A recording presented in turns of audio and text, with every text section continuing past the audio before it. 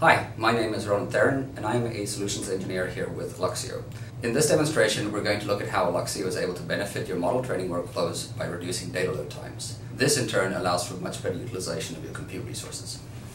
So for this benchmark, we have a large computer vision dataset in the Ohio data center loaded to S3. And then in Oregon, we have our compute as well as an Alluxio instance where we have pre-warmed the Ohio dataset into the Alluxio cache for local access rates.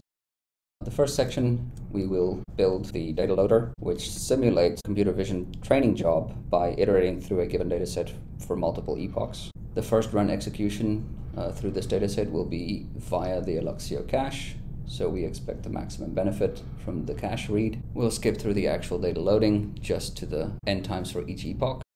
And as you can see for the Alluxio dataset read, about 50 to 60 seconds for each epoch for a total load time of about 264 seconds, as you can see here. Next, we will be iterating through the dataset using the S3 FS Fuse interface. It allows you to mount an S3 bucket as a local drive for local access. As before, we'll skip through the actual load process right to the end of each epoch. First epoch for about 1839 seconds, and subsequent epochs for about 240 seconds each.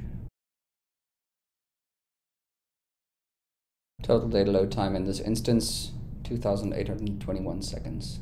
If you compare that with the previous run through the Alluxio cache, significant improvement here in data access time. Finally, we will read the dataset again, but this time using the S3 Python API. This will also be directly to the S3 bucket in Ohio, so no cache benefit that Alluxio provides. As you can see, there needs to be some significant changes in order to access your data through this method. We do expect at least initial improvements for read access, but for repeat reads, still not really a major benefit to the overall process. As before, we'll skip through the completion of each epoch, and as you can see, approximately a thousand seconds per iteration or per epoch.